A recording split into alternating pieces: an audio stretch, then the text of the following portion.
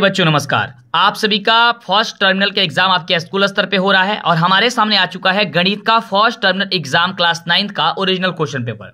तो आइए जानते हैं कि इसका बिल्कुल सही सही जो उत्तर है, आखिरकार इसका उत्तर क्या होगा? बहुत ही बढ़िया प्रश्न पूछा गया है। तो फटाफट से अभी तक वीडियो को लाइक और चैनल को सब्सक्राइब नहीं किया, जल्दी से कर दीजिए, जिससे कि आपको आगे से क्लास मिला करे।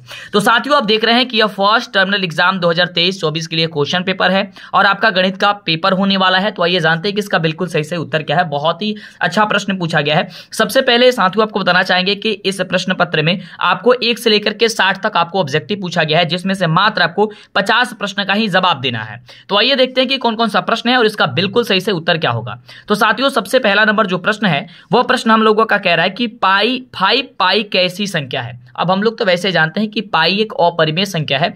तो पाई में अगर पाँच से गुणा कर दिया गया है, यानी कि पूरी संख्या भी हम लोग का अपरिमेय हो जाएगा। यानी कि ऑप्शन नंबर जो सी दिया गया है, वो आपका बिल्कुल ही सही जवाब हो जाएगा। अगर आपके एग्ज़ाम में क्वेश्चन आता है तो आप जाकर के उसे फटाफट से टिक करके चले आएँगे। अगले प्रश्न की बात करते हैं। सेकंड नंबर प्रश्न कह रहा है कि टू कैसी संख्या है? अब देखो, दो दशमलव फाइव की अगर बात करते हैं तो यहाँ पे टू पॉइंट फाइव और बट्टा यहाँ पे इसको दशमलव हटाते हैं तो क्या हटे? क्या लग जाएगा? नीचे दस लग जाएगा। यानी कि पच्चीस बटा क्या हो गया? दस आ गया। यानी कि इसे हम लोग क्या लिख दिए? तो पी बट्टा क्यू के रूप में लिख दिए। यानी कि हम लोग क्या हो गया? ये एक हम लोग का परिमेय संख्या हो गया। यानी कि ये आपका बिल्कुल सही जवाब हो जाएगा सी नंबर क्योंकि परिमेय संख्या वैसी संख्या होती है जिसे पी बट्टा क्यू के रूप में लिखा जा सके, जहाँ पी और क्यू पूर्णांक हो और क्यू बराबर नहीं हो ज़ीरो। ओके साथियों, अगले प्रश्न की बात करते हैं। अगला प्रश्न पूछा गया है कि 50 कैसी संख्या? अब देखो, ये बहुत ही ज़बरदस्त प्रश्न पूछा गया है। अब देखो 50 की बात करते हैं तो 50 एक परिमेय संख्या हो जाएगा, क्योंकि इसे 50 बट्टा वन लिख सकते हैं हम लोग तो ये परिमेय हो जाएगा। ये आपका पूर्णांक भी है और ये आपका पूर्ण भी संख्या हो जाएगा, यानी इनमें जो सभी ऑप्शन नंबर जो डी दिया गया है, वो आपका सही जवाब हो जाएगा। ओके अगले प्रश्न की बात करते हैं। अगला देखिए, प्रश्न कह रहा है कि ग्यारह बट्टा जो है का दशमलव रूप क्या होगा? अब देखो ग्यारह बट्टा का दशमलव रूप ज्ञात करने के लिए काफ़ी आसान तरीका है, इसको कैसे ज्ञात किया जाता है? सबसे पहले आप क्या करो कि छह में आप ग्यारह से मतलब कि भाग दे दो, ठीक है? तो छह बार में वन बार में जाएगा, यहाँ पे हो जाएगा, कितना हो जाएगा सर? सिक्स हो जाएगा। कितना आएगा? तो छह पाँच ग्यारह होता है, यानी कि आपका पाँच हो जाएगा, कुछ नहीं तो यहाँ पे दशमलव लगा के लगा के इसको ज़ीरो बैठा देंगे हम लोग। अब हो गया पचास। अब कितना होता है? तो आपका ये हो जाएगा आठ छक अड़तालीस, यानी यहाँ पे हो जाएगा आठ और यहाँ पे हो गया हम लोग का अड़तालीस। फिर यहाँ पे कितना निकला? सर, ज़ीरो निकला। अब क्या होगा सर, बीस हो जाएगा, ठीक है? तो यहाँ पे उसके पास क्या होगा? कितना बार में जाएगा? छत्री अठारह, यानी कि तीन बार में जाएगा, हो जाएगा अठारह, फिर देखो यहाँ पे दो आ गया, यानी कि फिर बीस आ गया, यानी कि ज़ीरो हम लगाएँगे। अब यानी कि ये जो है हम लोग का ये बार बार प्रोसेस जो है, वह आते जा रहा है, यानी कि हम लोग क्या आ रहा है? वन पॉइंट एट थ्री आएगा। यानी कि ऑप्शन देखो ए नंबर में दिया गया इसलिए आपको ऑप्शन ए नंबर सही हो जाएगा। अगला प्रश्न कह रहा है कि रूट थ्री का दशमलव प्रसार कौन है? अब देखो रूट थ्री का जो दशमलव प्रसार होता है, वो होता है one point seven three two zero होता है। अब देखो, इसमें सब में वही दिया गया one point seven three dot dot दिया गया है। One point seven three two dot dot dot दिया गया और यहाँ पे दिया गया one point seven three two zero dot dot dot. तो इसका ये देखो, ये सभी का सभी आंसर सही है, बिल्कुल सही है, ठीक है? ये ऑप्शन केवल सी पे ही टिक मत करना, क्योंकि अगर यहाँ पे डॉट डॉट नहीं रहता, तब तब ये आंसर गलत होता, तब ये ऑप्शन गलत होता। लेकिन ये डॉट डॉट दिया गया है। इसका इसका मतलब है कि इसके आगे आने वाली भी संख्या होगी, है ना? तो इसलिए ये संख्या कौन होती है? ये होती है, यानी कि इसका बिल्कुल जो सही हो, उत्तर क्या हो जाएगा? ये डी हो जाएगा कि ये भी सही है, ये भी सही है, ये भी सही है, ओके? अगला देखो, अगला प्रश्न हम लोग का कह रहा है कि पाई का दशमलव प्रसार क्या होता है? अब देखो साथियों, जो पाई का दशमलव प्रसार होता है, वो आप लोग तो सब बच्चे जानते हैं कि एक तो हम लोग पाई को बाईस बटा सात के रूप में लिखते हैं। क्या लिखते हैं? पाई को एक बार तो बाईस बटा सात के रूप में लिखते हैं और पाई का एक जो होता है हम लोग का, वो क्या होता है कि थ्री होता है। इस तरीके से यानी कि ऑप्शन नंबर जो ए दिया गया, वो ए नंबर हम लोग का बिल्कुल राइट जवाब है। अगला प्रश्न हम लोग का साथियों कह रहा है, यहाँ पे बहुत बढ़िया प्रश्न है और प्रश्न कह रहा है कि अपरिमेय संख्या का दशमलव प्रसार इनमें से कौन सा होता है? अपरिमेय संख्या का। देखो, अपरिमेय का अपरिमेय संख्या का दशमलव प्रसार की यदि हम बात करते हैं तो बिल्कुल ही इसका सही जवाब जो हो जाएगा, वो ऑप्शन सी हो जाएगा कि अशांत अनावर्ती होता है। क्या होता है? अशांत अनावर्ती होता है, यानी कि ऑप्शन आपका सी हो जाएगा। अभी तक वीडियो को लाइक और चैनल को सब्सक्राइब नहीं किया, जल्दी से करिए, नहीं तो आपको आगे से क्लास वीडियो नहीं मिल पाएगी और आपको पीडीएफ वगैरह कैसे मिलेगी, ये सब कुछ आपको हम बताने वाले हैं क्वेश्चन पेपर भी कैसे मिलेगी। अगला प्रश्न देख सकते हैं, अगला प्रश्न कह रहा है कि अशांत आवर्ती इनमें से कौन है? देखो, अशांत आवर्ती पूछ रहा है। अशांत आवर्ती का मतलब हो गया कि वो संख्याएँ दो, यानी कि बार बार रिपीट होनी चाहिए। तो देखो, यहाँ पे परिमेय है, ये आपका परिमेय होगा ऑप्शन बी ओके okay, अगला प्रश्न पूछा गया है कि दो पूर्णांकों के बीच कितने पूर्णांक नहीं हो सकते हैं? देखना ध्यान से देखना। कह कि दो पूर्णांकों के बीच कितने पूर्णांक नहीं हो सकते हैं तो सीमित पूर्णांक नहीं हो सकते हैं यानी ऑप्शन हम लोग का सी हो जाएगा। अगला प्रश्न है कि यहाँ पे कि इनमें कौन सबसे छोटा संख्या संख्या का यहाँ पे क्या चीज़ है? यहाँ पे क्या है? परिवार है। अब देखो सबसे छोटा। अब देखो इस क्वेश्चन में थोड़ी सी मुझे कंफ्यूजन बना हुआ है। हमें थोड़ा सा कंफ्यूजन बना हुआ है। हालाँकि इसका आंसर आपका सी नंबर होना चाहिए। क्या? पूर्णांक पूर्ण संख्या? क्योंकि ज़ीरो को सम्मिलित करने पर संख्या हम लोग क्या प्रकृत संख्या में अगर ज़ीरो को सम्मिलित करते हैं, वो संख्या क्या होती है हम लोग को? पूर्ण संख्या होती है। तो ऑप्शन आपका सी होनी चाहिए। थोड़ा सा कंफर्म हम नहीं है। चलिए, उसे कोई दिक्कत नहीं। आपको साठ में पचासों बनाना है, क्योंकि तीन चार क्वेश्चन ऐसे भी इस पेपर में गलत ही दे दिया है। कौन कौन दिया है, वो भी आप जान लीजिएगा। अगले प्रश्न की ओर बात करते हैं। अगला प्रश्न है कि प्रत्येक पूर्णांक होता है। तो साथियों, जो प्रत्येक पूर्णांक होता है, वो ध्यान देना, वो परिमेय भी होता है प्रकृत भी संख्या होता है, पूर्ण भी संख्या होती है, यानी कि इनमें से जो सभी है, वो आपका बिल्कुल ही सही जवाब हो जाएगा। अगला देखो, अगला कह रहा है कि बहुपद two x square plus five x cube plus six का घात क्या होगा? अब देखो साथियों, घात वो होता है, घात वो होता है, जो सबसे ज़्यादा पावर के रूप में दिख रहा हो। तो यहाँ पे दो, तीन में सबसे ज़्यादा क्या है? तीन ज़्यादा है, यानी कि आपका हो जाएगा ऑप्शन नंबर सी। देखो, अगला प्रश्न कह रहा है यहाँ पे कि किसी बहुपद में अचर पद का घात क्या होता? है अचर पद का। अब देखो, अचर पद का घात क्या होता है साथियों? ज़ीरो होता है। यानी कि क्या यानी कि उसका घात ही नहीं होता। है ऑप्शन क्या हो जाएगा? तो आपका ए नंबर हो जाएगा। अगला है कि रैखिक बहुपद का घात क्या होता है? देखो, रैखिक बहुपद का तो आपको बार बार हम बताते रहते हैं कि सर, रैखिक बहुपद का जो घात होता है, वो क्या होता है? याद करके रखना वो आपका एक होता है जो कि इसमें से ऑप्शन दिया ही नहीं गया है, इसलिए ऑप्शन क्या हो जाएगा? हम लोग का डी हो जाएगा। अगला है कि बहुपद में घात, चर घातों, घात कैसी संख्या होती है? देखो, बहुपद में चर घातों की संख्या कैसी होती है? आपको बताना है तो वो आपका होती है पुण्य होती है, यानी ऑप्शन आपका बी हो जाएगा। अगला प्रश्न हम लोग का कह रहा है सोलह नंबर की बहुपद के शून्यकों की संख्या किसके बराबर होती है? तो बहुपदों में जो शून्यकों की संख्या होती है, बहुपद के घात के बराबर होती है, यानी कि ऑप्शन आपका हो जाएगा बी नंबर, बिल्कुल ही सही जवाब। अगला प्रश्न पूछ दिया गया है आप सभी से कि बहुपद two x cube plus five x square plus three में एक्स स्क्वायर का गुणांक यानी एक्स स्क्वायर का गुणांक कहने का मतलब हो गया कि एक्स स्क्वायर में किस संख्या से गुणा किया गया। तो देखो तो एक्स स्क्वायर में किससे गुणा किया? फाइव से। यानी कि फाइव आपका जो होगा, वो सही जवाब हो जाएगा। अगला देखो, इनमें बहुपद कौन है? अब देखो, बहुपद वही होता है जिसका चर का घात क्या हो? धनात्मक होनी चाहिए। अब देखो यहाँ पे क्या है इसमें एक्स में क्या है? ये पावर माइनस में है ये भी ये, भी करेंगे तो हम लोग का माइनस में आ जाएगा। और इनमें से कोई तो होगा नहीं। तो यानी कि हम लोग का देखो ये चर का घात क्या है? धनात्मक है। तो आपका ऑप्शन नंबर ई हो जाएगा बिल्कुल ही सही जवाब। अगला प्रश्न कह रहा है कि इनमें बहुपद कौन नहीं है? अब देखो, यहाँ पे बहुपद कौन नहीं है, यहाँ पे आपको जो यहाँ पे ऑप्शन दिया गया चार ऑप्शन में से। इस चार ऑप्शन से आपको बतानी है तो देखना ध्यान से।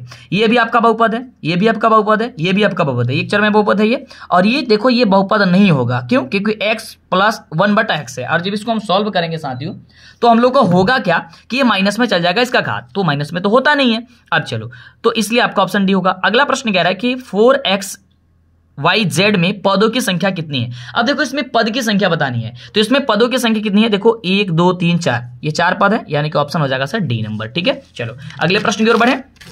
अगला देखिए, इक्कीस नंबर प्रश्न की ओर बढ़ चुके हैं और आप लोग अभी तक चैनल को सब्सक्राइब लाइक नहीं कर लाइक देखो, लाइक तो करना बनता है ना। इतनी ज़बरदस्त तरीके से बताया जा रहा है, क्वेश्चन पेपर लेकर के आपको सॉल्व कराया जा रहा है, जिससे कि आपको किसी प्रकार की दिक्कत, किसी प्रकार की परेशानी ना हो। तो चैनल को सब्सक्राइब करिए और लाइक करिए, जिससे मेरा मनोबल बढ़े और आपके लिए बेहतर से बेहतर हम कर सके। अगला प्रश्न देखो, यहाँ पे कह रहा है कि इक्कीस नंबर कि x plus y plus z इनमें ये इनमें से कैसा बहुपद? मतलब ये कौन सा बहुपद है? कैसा बहुपद है? ये आपको बतानी है तो इसका राइट जो जवाब हो जाएगा, वो आपका हो जाएगा ये त्रिपदी बहुपद है। कितने बहुपद है? ये त्रिपदी पद है, यानी कि इसमें तीन पद है, ओके? अगला प्रश्न कह रहा है कि बाईस नंबर प्रश्न है कि टू एक्स माइनस सिक्स का शून्य क्या होगा। अब देखो शून्य ज्ञात करने के लिए हमने कई बार बताया, देखो, कोई भी क्वेश्चन दिया गया, जैसे कि टू एक्स माइनस का सिक्स दिया है तो बराबर ज़ीरो कर लेना। टू एक्स और ये माइनस में दूसरा जाएगा प्लस में हो जाएगा तो एक्स बराबर क्या होगा? तीन दूनी छः यानी कि एक्स बराबर तीन आ जाएगा। यानी कि देखो, तीन का है? तो यहाँ पे देखो ऑप्शन नंबर सी में है सी नंबर आपका सही जवाब हो जाएगा, ठीक है?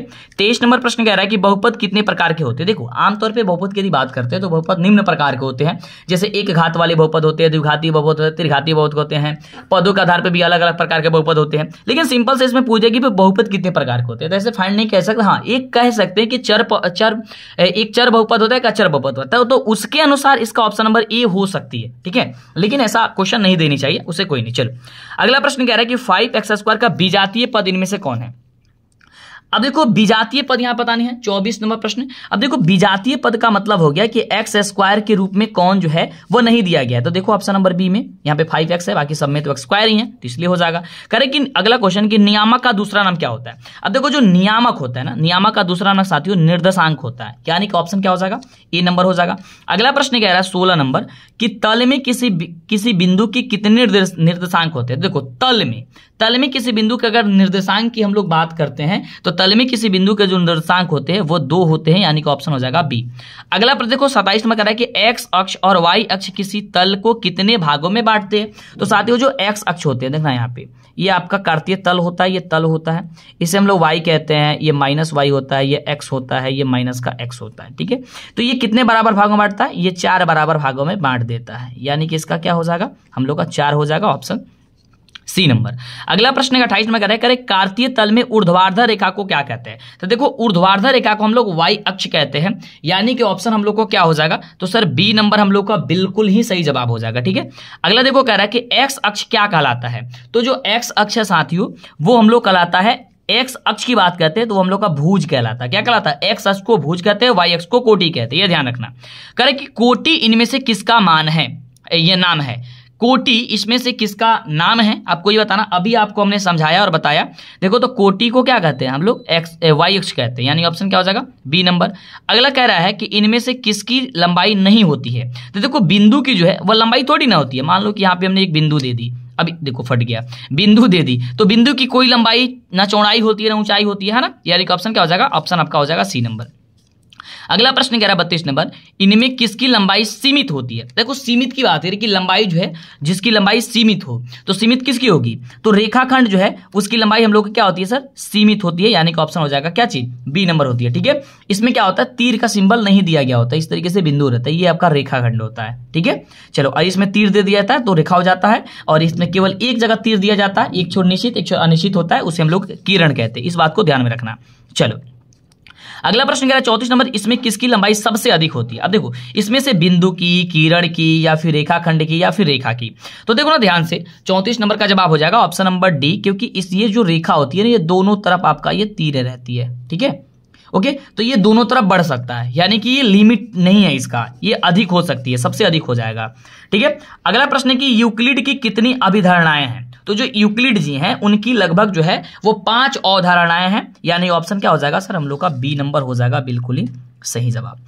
अगले देखो, अगला प्रश्न हम लोगों का कह रहा है यहाँ पे? छत्तीस नंबर, कि इनमें कौन बराबर होते हैं? बराबर।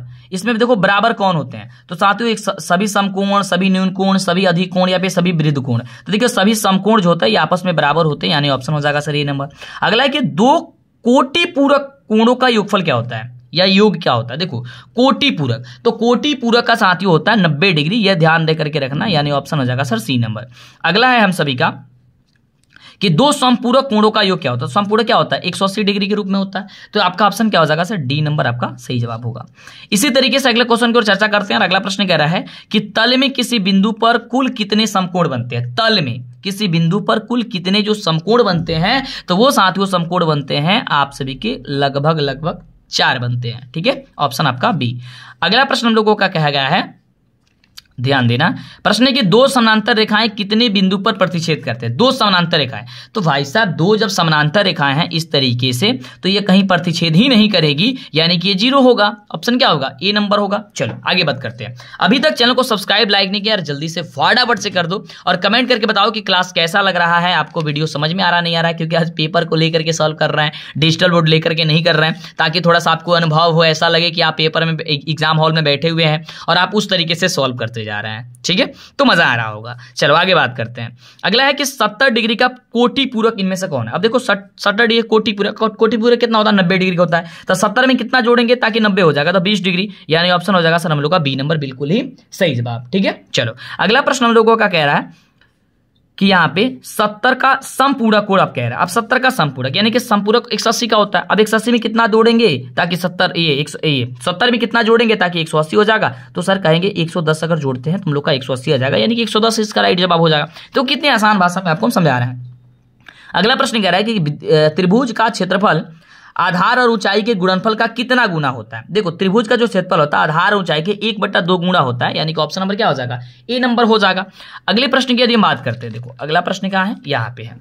ध्यान देना। चौवालीस नंबर प्रश्न है कि संबाहु त्रिभुज का क्षेत्रफल रूट थ्री गुणे भुजा स्क्वायर यानी कि ए स्क्वायर का कितना गुना होता है? ये तो काफ़ी इजी क्वेश्चन है, आप सभी बच्चे बता सकते हैं।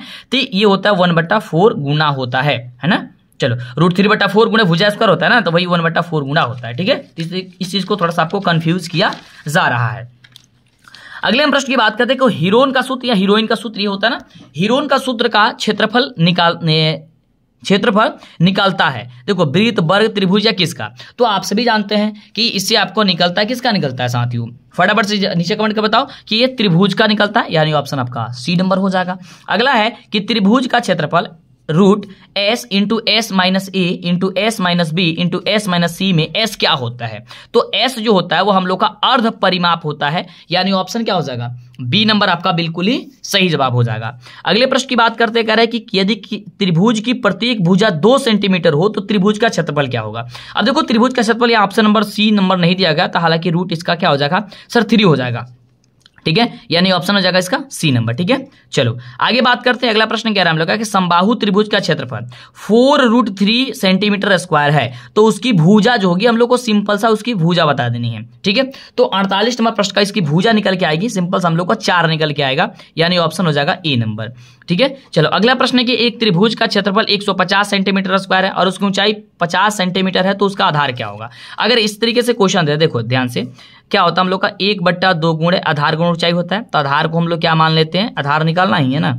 आधार निकालना है तो उसको बी मान लेते हैं, और इसको हम लोग मान लेते हैं ऊंचाई एच दिया है तो एच को हम लोग पंद्रह दिया है, मान लेते हैं। बराबर कितना है, सर? एक सौ पचास है, ठीक है? एक सौ पचास हम लोग को देखो दिया गया है। अब देखो, पंद्रह वन में बी में पंद्रह से गुणा करके तो पंद्रह बी हो जाएगा। पंद्रह बी बट्टा क्या उतना हो जाएगा? दो ये हो जाएगा एक सौ पचास। इसके नीचे कुछ नहीं, वन लगा देंगे। तिरिय गुणा करेंगे हम लोग। देखो, यहाँ पे इसलिए हम सॉल्व नहीं करेंगे ताकि स्पेस नहीं बच रहा है। ठीक है अभी मत करने के साथ सॉल्व करके कुछ क्वेश्चन वैसे तो सारा क्वेश्चन आपको केवल फॉर्मूला सही था, बस एक ही दो क्वेश्चन था। ठीक है, अब देखो, इसको त्रिय गुणा करोगे तो पंद्रह बी हो जाएगा। और बराबर क्या देखो डेढ़ सौ में दो से गुणा करोगे, कितना हो जाएगा सर? तीन सौ हो जाएगा। तीन सौ हो जाएगा। अब देखो, अब बी बराबर क्या हो जाएगा? सर, कटा दो, तीन सौ में भाग दे दो पंद्रह से तो यहाँ पे हो जाएगा बीस बीस पंद्रह, तीन सौ होता है, यानी कि हो जाएगा बीस। यानी कि ऑप्शन क्या हो जाएगा? सर, आधार का वैल्यू जो होगा, बीस होगा ऑप्शन नंबर बी हो जाएगा, ठीक है? चलो, अगला प्रश्न कह रहा है, पचास नंबर के आधार गुण ऊंचाई से किसका क्षेत्रफल प्राप्त होता है? तो उसको आप सभी जानते हैं कि आयत का जो क्षेत्रफल होता है, वो आधार गुण ऊंचाई होता है। इसमें ज़्यादा कुछ सिंपल एकदम पेपर सिंपल है। इसको कुछ नहीं किया गया, बस इसमें आपको सिंपल सा बस फॉर्मूला के टाइप से ही क्वेश्चन पूछा गया है। अगला प्रश्न कह रहा हूँ का कि सम चतुर्भुज का क्षेत्रफल विकर्णों की गुणनफल का कितना गुना होता है? ये देखो, बनाओगे तो बहुत बड़ा बन जाएगा। बस याद करके रखना कि दो गुना होता है। कितना होता है? दो गुना होता है, यानी कि ऑप्शन आपका हो जाएगा। सर आपका ए नंबर अगला प्रश्न कह रहा है कि यदि एक समांतर चतुर्भुज का आधार अगर बी है और ऊंचाई एच हो तो उसका क्षेत्रफल क्या होता है? देखो समांतर चतुर्भुज का जो क्षेत्रफल होता है, वो आधार गुण ऊंचाई होता है। बट यहाँ पे कहीं दिया ही नहीं है। यहाँ पे टू बी एस दिया है थ्री बी एस दिया है फोर बी एस इसमें से ऑप्शन नंबर आपका डी होगा। चलो। अगला है कि एक सम षष्टभुज की एक भुजा, अगर चार सेंटीमीटर हो तो उस उसका जो क्षेत्रफल होगा, वह क्या होगा? तो देखो, इसका सम षष्टभुज की अगर हम बात करते हैं इसके क्षेत्रफल तो इसका फॉर्मूला होता है सिक्स रूट थ्री बट्टा फोर गुणे भुजा स्क्वायर अब भुजा का बदले कितना दिया? चार। तो चार का स्क्वायर कर दो। चार का स्क्वायर कितना होगा? चार चौका सोलह होगा। अब चार से कटा दो तो चार चौका ये चार चौका सोलह होता है। देखो, छह में चार से गुणा कर हो जाएगा चौबीस और root three so root three यानी कि चौबीस रूट थ्री आपका चौबीस रूट थ्री कहाँ पे ऑप्शन है? सर सी नंबर में अगला है, देखो ध्यान से, अपवर्जी विधि में वर्ग अंतराल बीस से पैंतीस की लंबाई क्या होती है? अब देखो, अपवर्जी विधि भी। आपको करना कुछ क्यों है कि ये अधिकतम मान है, ये न्यूनतम मान है। इसमें से बेसिस को घटा यानी कि बीस का अंतर आपको बता देना बस लंबाई का मतलब ये यही समझो। ठीक है? तो यहाँ पे क्या होगा? सर, पंद्रह, बीस में या पंद्रह के बीच की, बीस में अंतर कितने की? पंद्रह की है, यानी कि ऑप्शन हो जाएगा। सर, पैंतीस में अंतर कितने की है? बीस और पैंतीस में पंद्रह की यानी ऑप्शन हो जाएगा ये नंबर अगला प्रश्न कह रहा है, हम लोगों का कि वर्ग अंतराल पंद्रह और पच्चीस का वर्ग चिन्ह क्या होगा? अब देखो, वर्ग चिन्ह क्या होता है? यहाँ पे देखो, वर्ग अंतराल। देखो, इसमें से क्या करो? अधिकतम ऐसे न्यूनतम घटा दो। यानी कि पंद्रह और पच्चीस के बीच का अंतर कितना है? यानी कि पच्चीस में से पंद्रह घटाएँगे, कितना बचेगा? सर, दस बचेगा। यानी कि ऑप्शन हम लोग क्या हो जाएगा? तो हम लोग ऑप्शन कहाँ पे? ऑप्शन नंबर ए में जो दिया गया है, वो आपका बिल्कुल ही सही जवाब हो जाएगा। चलिए, आगे बढ़ते हैं। छप्पन नंबर क्वेश्चन की ओर। अभी तक वीडियो को लाइक और चैनल को सब्सक्राइब नहीं किया, जल्दी से करिए, फटाफट से करिए। अब काफ़ी कभी क्वेश्चन बचा हुआ है। फिर आपको सब्जेक्टिव भी क्वेश्चन दिखा देते हैं कि कौन कौन सा क्वेश्चन है। अगला प्रश्न कह रहे हैं कि अंतिव्यापी विधि में वर्ग अंतराल ग्यारह से बीस की लंबाई क्या होती है? देखो अंतिव्यापी अगर अंतिम व्यापी में पूछता है तो क्या करते हैं? इन दोनों के बीच के पहले अंतर निकालते हैं और उसमें वन जोड़ लेते हैं। तो ग्यारह और बीस में अंतर कितना का? नौ का है। नौ में एक जोड़ देंगे, हो जाएगा दस, यानी ऑप्शन होगा ए देखो, अंतिव्यापी पूछा है है ना? अंतिव्यापी। अगला है कि वर्ग अंतराल के मध्य बिंदु का दूसरा नाम क्या है? देखो, इस क्वेश्चन में थोड़ी सी हमको कंफ्यूजन बना हुआ है। ठीक है? कह रहे कि वर्ग अंतराल के मध्य बिंदु का दूसरा नाम वैसे तो वर्ग अंतराल के मध्य बिंदु को हम लोग माध्य कहते हैं बट यहाँ पे माध्य दिया नहीं है, दूसरा नाम पूछ रहा है तो थोड़ी सी कंफ्यूजन बना हुआ है। ठीक है? तो इसको हम छोड़ते हैं, और आप लोग अगर पता हो तो बता दीजिएगा, नहीं तो इसका ऑप्शन आपका डी ही होगा, इनमें से कोई नहीं। अगला प्रश्न ये एक से दस, ग्यारह से बीस, इक्कीस से तीस, किस प्रकार का वर्ग अंतराल? आप ध्यान से देखोगे एक से दस है। और दस के बाद दस बीस नहीं है ग्यारह बीस है। यानी कि ये एक समान नहीं है अलग अलग है। यानी क्या है यह अंतिव्यापी है। क्या है? देखो द, एक के बाद दस है और दस में वन जोड़े तो ग्यारह आया है फिर ग्यारह से बीस है बीस में वन जोड़े तो ग्यारह इक्कीस आया है। तो इस तरीके से आपका है तो यह हो जाएगा आपका अंतिव्यापी अगला प्रश्न कह रहा है कि आंकड़े आठ कमा बारह कमा अठारह कमा तीन कमा दस कमा इक्कीस का परिसर क्या परिसर क्या होता है? अंत, ये अधिकतम मान माइनस न्यूनतम मान होता है। तो अधिकतम मान क्या है सर? इक्कीस ही है और न्यूनतम क्या है सर? तीन है। तो इक्कीस में आप तीन घटा दो। कितना बचेगा सर? आपका 18 बचेगा। यानी ऑप्शन क्या हो जाएगा? सर डी नंबर हो जाएगा। अब देखो लास्ट क्वेश्चन अभी तक आप चैनल को सब्सक्राइब नहीं किया जल्दी से करिएगा। वीडियो को लाइक करके अपने दोस्तों में साथियों में जितना ज़्यादा हो सकता है आप शेयर कर दिए फैला दीजिए फटाफट से। चलिए अगला प्रश्न है और लाइक करके सभी बच्चे जाइएगा ज़रूर जिससे मेरा मन, मेरा मनोबल बढ़ेगा। अगला कि आंकड़े तीन कमा पाँच कमा आठ कमा पाँच कमा दो कमा तीन कमा सात कमा तीन कमा दो में किसकी बराबरता सबसे अधिक है? यानी कि यहाँ पे बराबरता क्या होगी? यानी कि सबसे ज़्यादा कौन अंक आया है? तो देखो यहाँ पे तीन देखो कितने बार है एक दो और तीन बार आया है। पाँच कितनी बार आया है? सर, दो बार ही आया है। आठ कितनी बार? एक बार आया है। दो कितनी बार आया सर? दो ही बार आया है। यानी कि तीन सबसे ज़्यादा बार आया है। इसलिए आपका तीन आपका बिल्कुल सही जवाब हो जाएगा। अब इस पेपर में देख सकते हो, इसका स्क्रीनशॉट ले लो, साथियों, और इसको बता देते हैं कैसे इसका पीडीएफ वगैरह भी मिलेगा तो ध्यान देना। देखना, इसका क्या चीज़ है? ये आपका सब्जेक्टिव क्वेश्चन है कि zero point two three four पे रेकरिंग है, को पी बट एक्यू रूप में कैसे लिखा जा सकता है? पाँच और छह के पी पाँच परिवेश संख्या को लिखो फाइव पॉइंट सिक्स के संख्या को रेखा पर दर्शाइए संख्या रेखा पर थ्री पॉइंट फोर और थ्री पॉइंट एट के बीच दो अपरिमेय संख्या को आपको दर्शाइए। अगर इसका सब्जेक्टिव चाहिए तो आप हमें नीचे कमेंट करो। जितना ज़्यादा कमेंट आएगा लाइक आएगा, मैं जल्दी से बना दूँगा। ठीक है? चलो तो जल्दी से ये देख सकते हो साथियों, ये आपका क्वेश्चन कितना ज़बरदस्त और लाजवाब क्वेश्चन पूछा गया है। फटाफट से है ना? इसको फटाफट से कर लो। ओके साथियों? तो जल्दी से, और मिलते हैं अगले वाले नेक्स्ट वीडियो में। तो चैनल को सब्सक्राइब लाइक कर दीजिए। इसी तरीके से सभी पेपर के साथ। वैसे तो बहुत सारे पेपर जो आपका बीत चुका है, समाप्त हो चुका है, हम डेली एक को लेकर लेकर के आ ही रहे हैं। ठीक है? तो आप एक बार चैनल को सब्सक्राइब लाइक करिए। मिलते हैं आपसे नेक्स्ट वीडियो में। जो डाउट जो दिक्कत है, आप हमें बता दीजिएगा।